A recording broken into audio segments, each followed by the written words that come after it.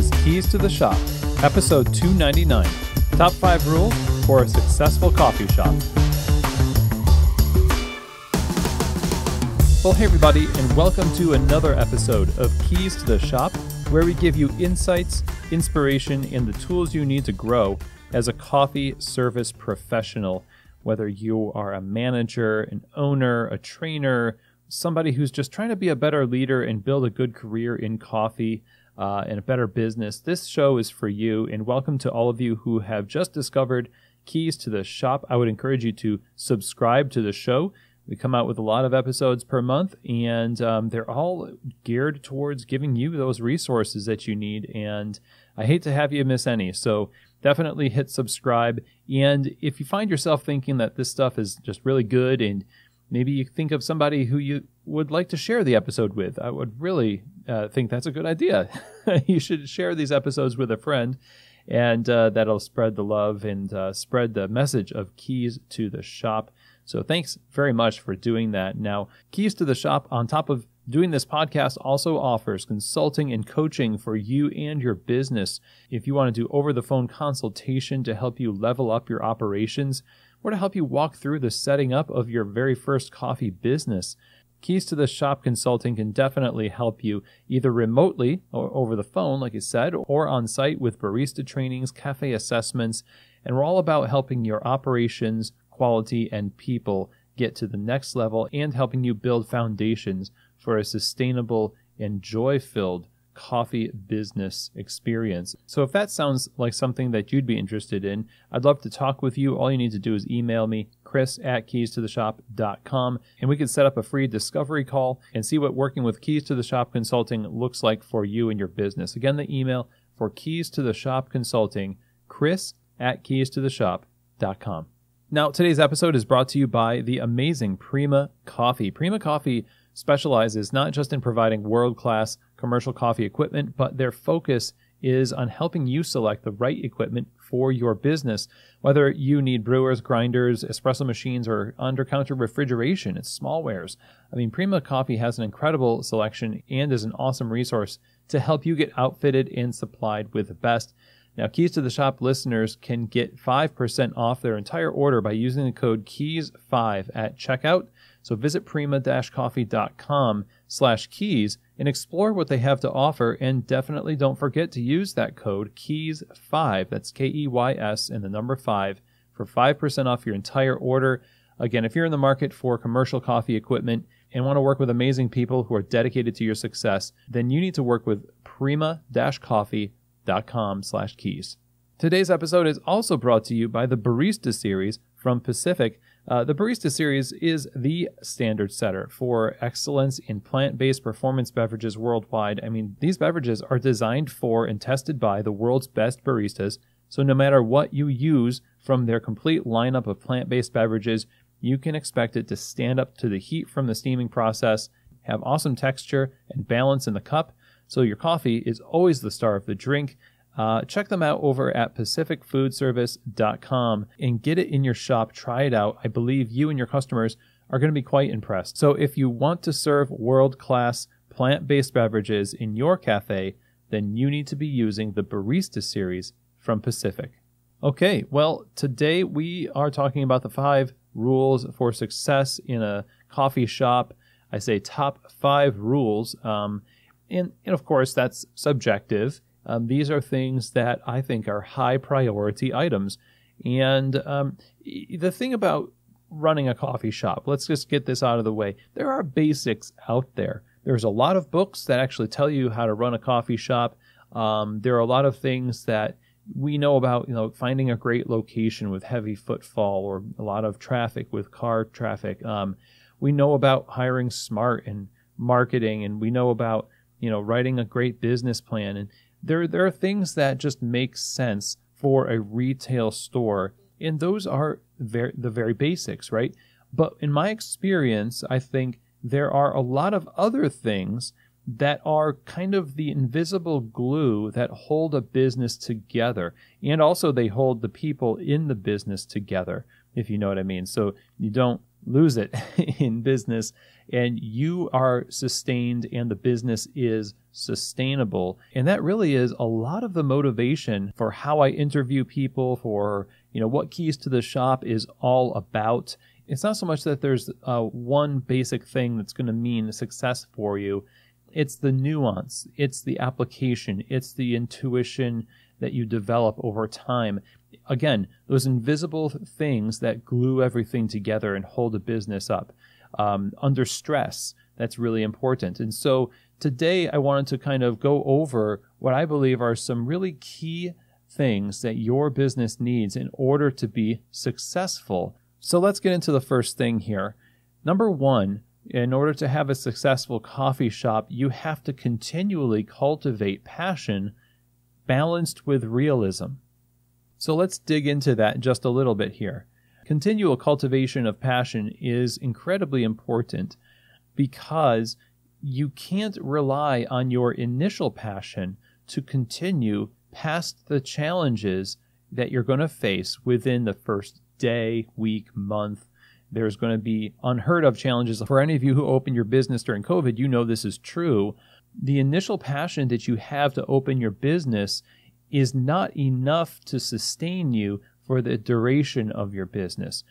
Passion is something that I think you need to uh, cultivate in seasons. So you might have enough drive and momentum with the dream that you have to push through the business plan, the build out, the hiring, the grand opening.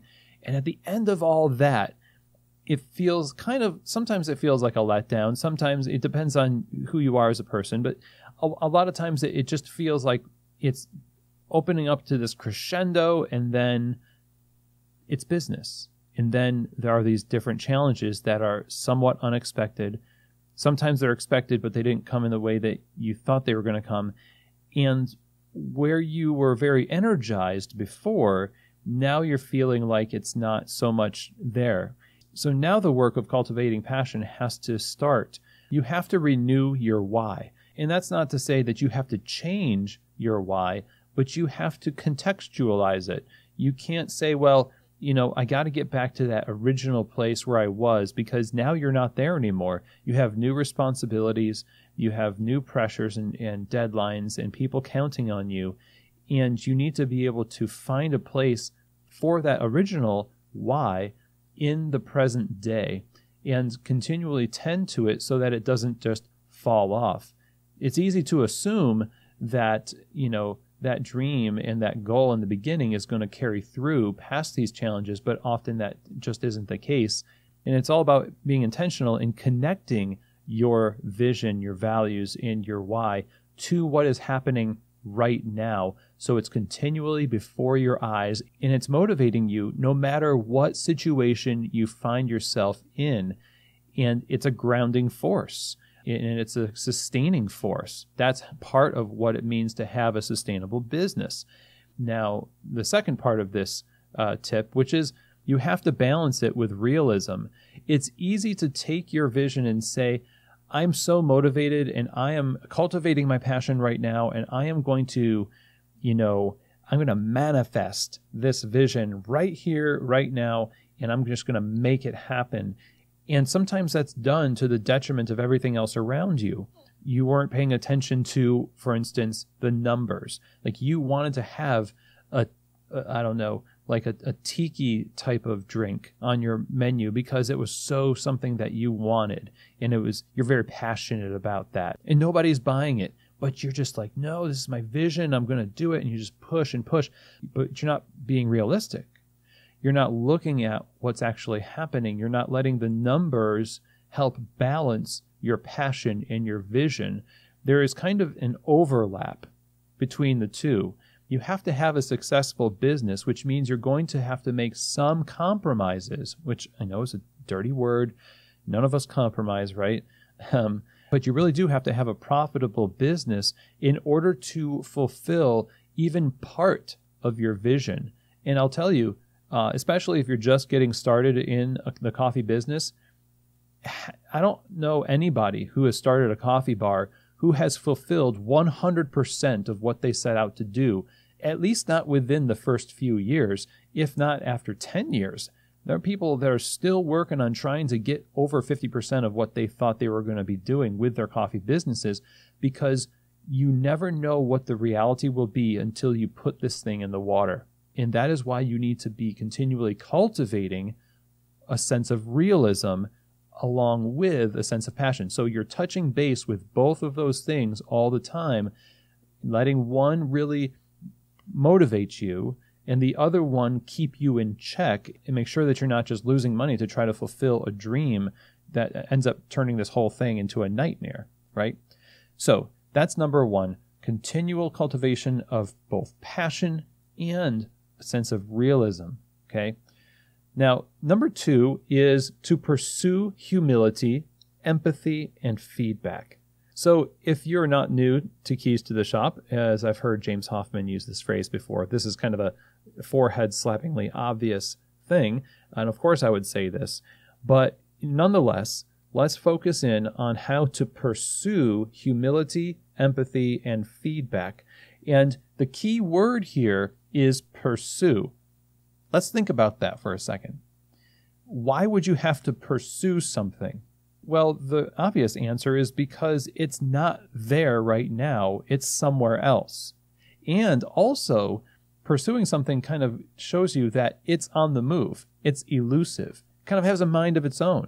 Humility is something that's kind of a moving target, partially because it's being displaced and pushed away constantly by us and our pride. Uh, empathy is the same way. Our selfishness wants to focus on just us, uh, and that's a survival instinct. Feedback wants to close down any possibility that we're going to hear something that we don't like. And so we are kind of pushing these things away. And that's why we have to kind of pursue them. And so as these things kind of naturally will move away from us, we do have to pursue them to kind of counterbalance the way that we are naturally. So, in the pursuit of humility, what we need to do is constantly be sort of putting the you are here sign on ourselves. It's like one of those YouTube videos I've, I've seen where they take the earth and then they say, um, you know, here we are in the solar system, here we are in the galaxy, in the universe. And it gives you the impression that some of the shallow arguments that you're having with your, your spouse or your friends may not be as big as you thought because the earth itself is not even as big as you thought.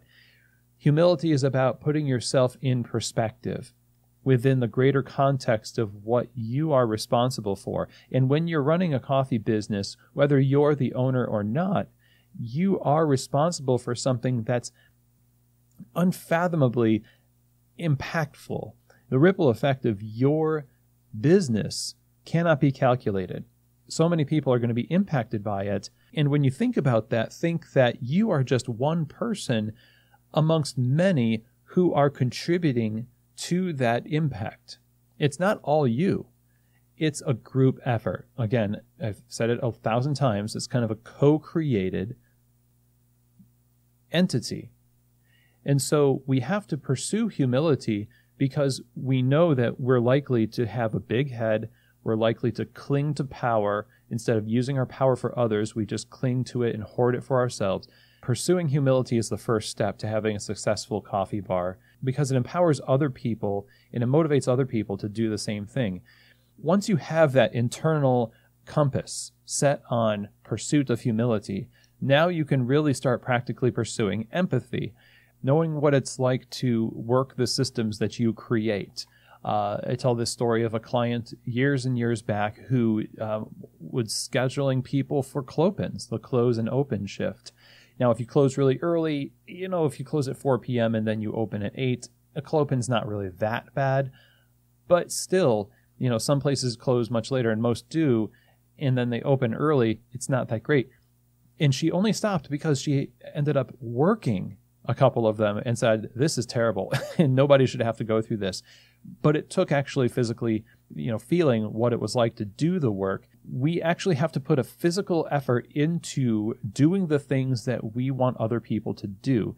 Now, at a certain scale, you might not actually have as much time on your hand. Like if you have like five, seven shops, you know, at least you have to have your delegated authority being able to empathize through a physical effort of knowing what it's like to do the work. The reason why this is important is because, again, we're counterbalancing a natural default that we have to overload people because of a lack of impact it has on us.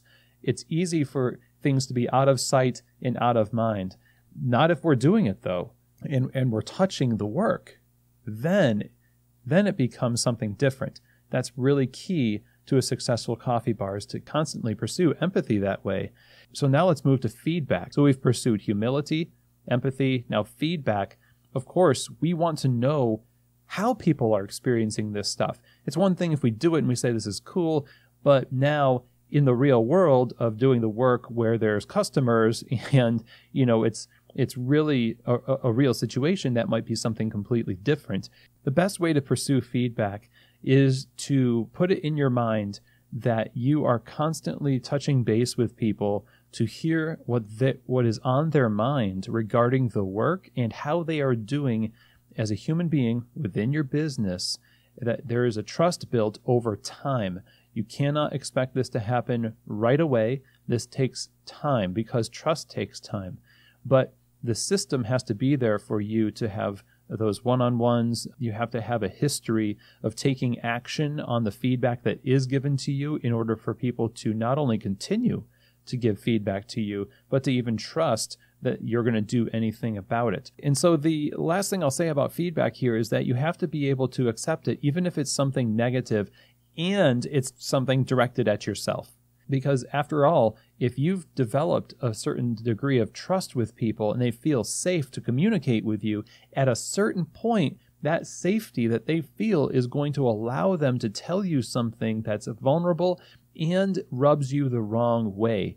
I mean, why do you think that people that are close oftentimes hurt each other the most? It's because they don't have any walls. Now, this is a professional environment, and I'm not advocating that we uh, blur these things. Quite the opposite. I'm a strong advocate for being professional and drawing professional lines. But a consequence of people feeling like they have a certain safety and feedback means that you might get your feelings hurt, whether it's directed to at you as a person or uh, at the business in general.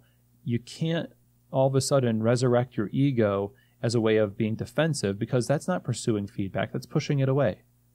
That's not even pursuing humility, it's pushing it away. So you have to be prepared for that. So let's move on to number three, which is to develop people first systems. We started this whole podcast, not this episode, but the podcast itself, years ago, back in uh, 2017, with uh, one of the original episodes on how to be a people first leader. And that's kind of a magical phrase right there. I mean, if you just want to use the term people first and put it in front of anything, you know, it really becomes uh, a different conversation altogether. But we're talking about systems. Systems are care, and systems have to be designed for the benefit of the people using them and experiencing the end result of them. You again have two customer groups your employees and your customers. They're both customers of the business, and you want good reviews from both of them. And one of the easiest ways to do that is to create systems and processes that are not only geared toward the success of the business, but also for the benefit of the people in the business, that they can accomplish what they need to accomplish at work, have a sense of pride, not any kind of undue stress. Of course, there's it's work, so of course there's going to be some stress at work. There's going to be some effort. you know, we're not trying to make everything just super super easy. Um, we're not trying to eliminate work in this, but when we create people first systems, we are doing so to try to avoid creating unrealistic situations where people burn out. Managers that are overloaded with too many expectations from an owner, baristas that have too many things to do during the closing shift, a bar that's not set up correctly, a method of making drinks that's overly complex. There's too many steps and it's the best seller and nobody likes making it. People are the first thing that you need to consider when creating a system. So, in order to do that, you need to fight to maintain connection to the cafe, the people, and the mission. your vision will be realized only through properly developed systems, right? And in order to do that, you need to have connection to the cafe and the people in order to know that what you're inventing is actually appropriate. A lot of the systems that uh, managers who are not connected to the cafe or an owner who just kind of randomly finds a system template online, you know, they'll put it into the cafe and it kind of goes over like a fart in church. You know, it's it doesn't go over well. I guess it depends on the kind of church you go to, but um, the point is, is that it's contextually wrong. It's not supposed to be there because it's not for that particular store or your business. So when you are connected to the cafe and the people, you're going to make decisions that have more context and are easier to accept when you are the barista working in that store because it shows whoever made this knows what I'm going through. They can empathize, back to empathy. They can actually understand that. The whole goal of your business and coffee in general is that we are giving hospitality. Hospitality has to extend beyond what we give customers. We want them to experience our cafes and the tables and, and everything else in an effortless way or in, in a way that makes them feel like they had a great experience. The same has to go for our staff, and we need to build our shops so that people feel it was one of the best jobs they ever had. And in order for that to happen, we need people first systems. Okay, so now let's move on to number four. The fourth key for having a successful coffee shop is to celebrate community and staff. Celebrate them. So there are actions associated with all of these. You have to cultivate, you have to pursue, you have to develop. And now we're on to celebrate. The first thing that we have to do in order to celebrate community is by being genuine and by being dedicated to the community's success. Your cafe is part of this neighborhood, or even if it's not in a neighborhood, quote unquote, it's still part of the fabric of somebody's daily routine or a group of people's daily routine, whether that's in a downtown area, suburban strip mall, or a hip new mixed use high rise building, or just a, a, a plain old neighborhood no matter what, there are groups of people that see your coffee shop as a normal part of the fabric of their lives. And that is a community. And so, how are you dedicated to the success of that community? Well, of course, we're going to start with the basics of running a, a good business. So, we're always around a profitable business, good hospitality and quality, and all of that fun stuff, right? But beyond that, we need to be able to be aware of what the community needs.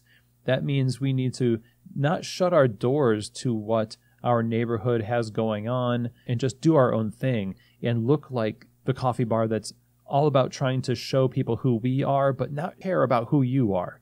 We're just concerned with our own stuff. We really want you to care about our coffee, but we don't really want to care about you. You see, I don't think that we get a ton of negative feedback when we do that, and it causes us to think that it's okay to do that. It's okay to just kind of um, be, be an island, right?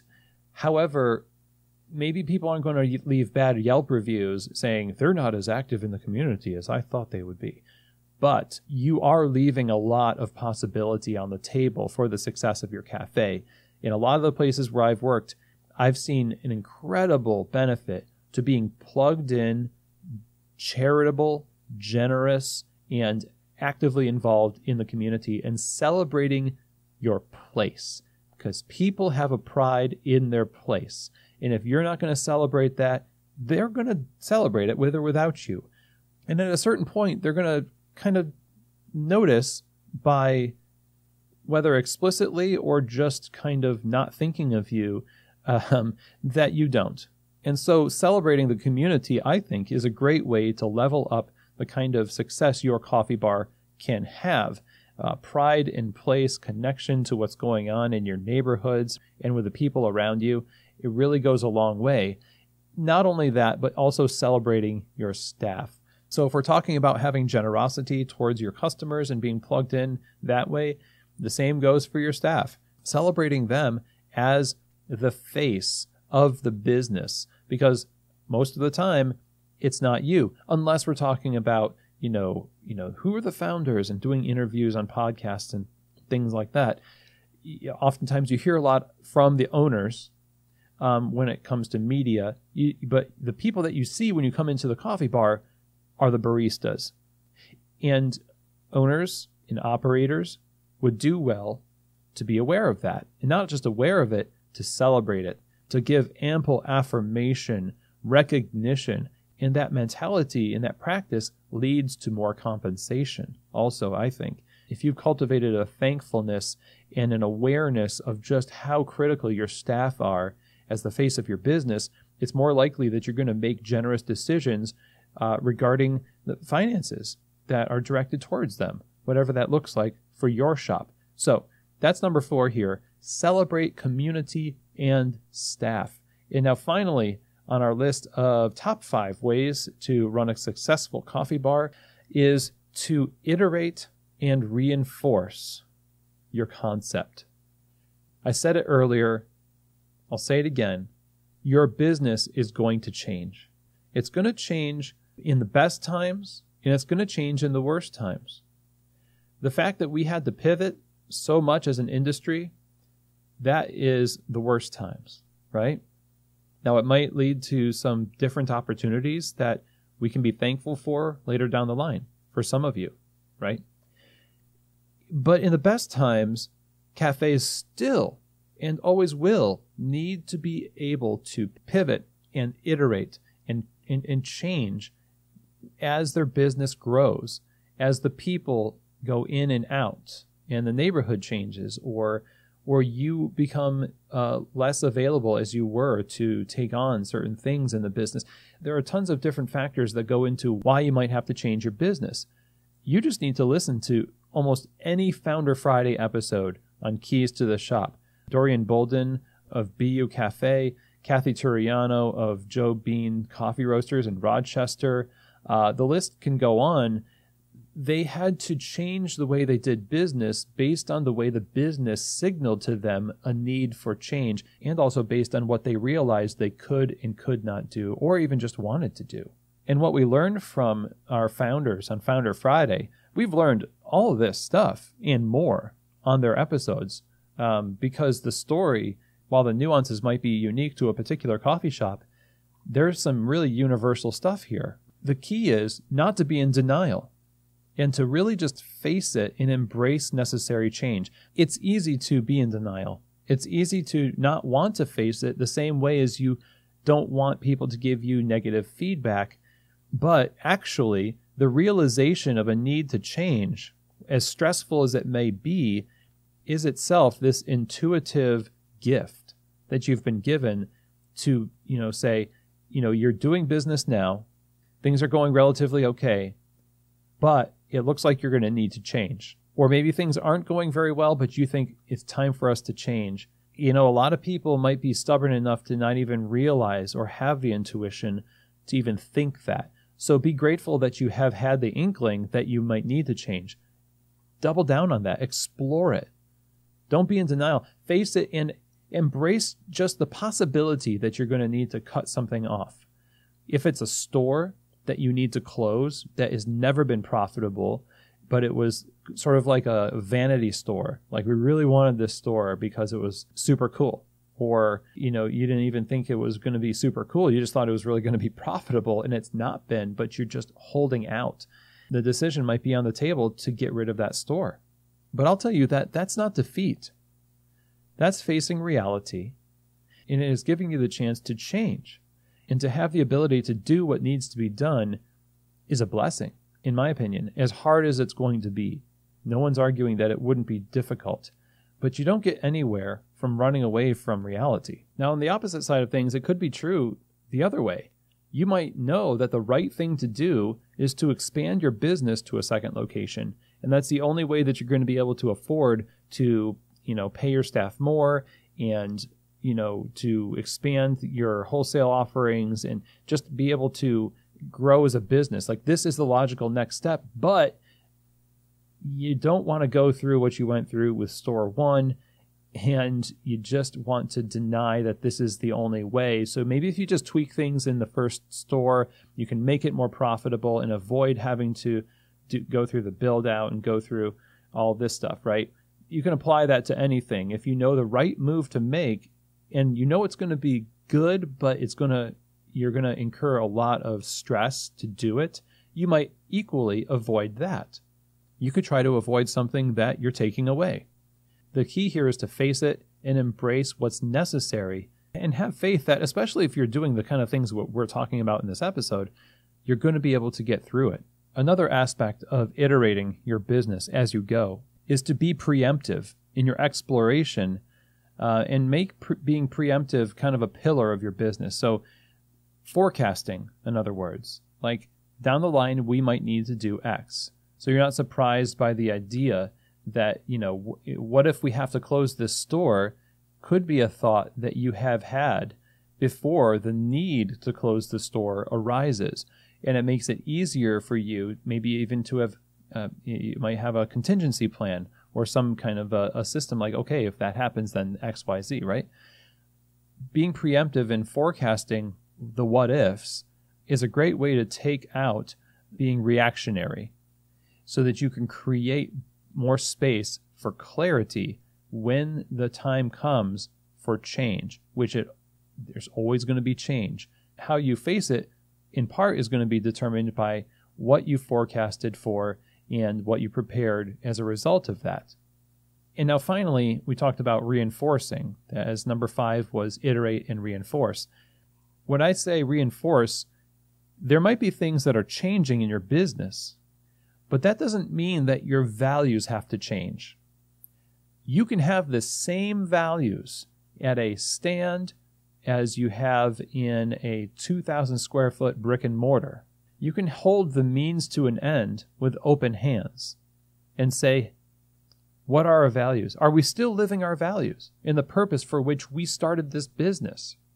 If the answer is yes, but the tools and the means are changing, that's not a threat to your existence because your existence is based on more than just the type of building you're in. And it's based on more than just your branding and, other maybe superficial things that become so precious to us that aren't really at the heart of what it means to be this thing, this business, your business. So as change happens, which it will, you have to build on and strengthen your roots as you go. Seasons happen. The leaves grow, they change, they fall, it happens. The roots, if they're healthy, will hold you in place. Your values are your roots, and those can be reinforced very well, even if all things are changing around you. So, those are the five things that I wanted to talk to you about today. Um, I'm sure we could do like an episode on each of them. You know, for you, one of them might be supremely relevant, and I hope that you take time to meditate on that, think about it, discuss it with somebody, and apply whatever it is you need to apply to your reality. Um, if you have any questions about this or any other episode of Keys to the Shop, of course, you can email me, chris at keystotheshop.com is my email. You can also use that to reach me if you're interested in working with Keys to the Shop Consulting. Chris at keystotheshop.com. And now, as you uh, listen to this, I will be in Anaheim, California at Coffee Fest, and I'm very, very excited. Of course, Coffee Fest, as you've been hearing me talk about, I mean, this is a fantastic event. If you want to thrive as a coffee retail professional and you want to get insights from trainings, workshops, lectures, um, just the community of coffee, Coffee Fest has been doing this for 25 years, over 25 years. And what they've achieved is giving the industry probably the most effective event for coffee shop pros out there. Um, you know, listening to this right now, you it's too late to go to Anaheim, but but there is an opportunity to go to Portland, Oregon in November, and uh, you should definitely check that out. Um, go to the website coffeefest.com find out more information about what Coffee Fest is all about, what's going on in Portland, and I hope to see you there. Again, to find out more information and register to attend today, go to coffeefest.com. And with that, that is the end of our episode. Thank you, everybody, for taking the time to join me today. And I hope that this episode has truly given you keys to the shop.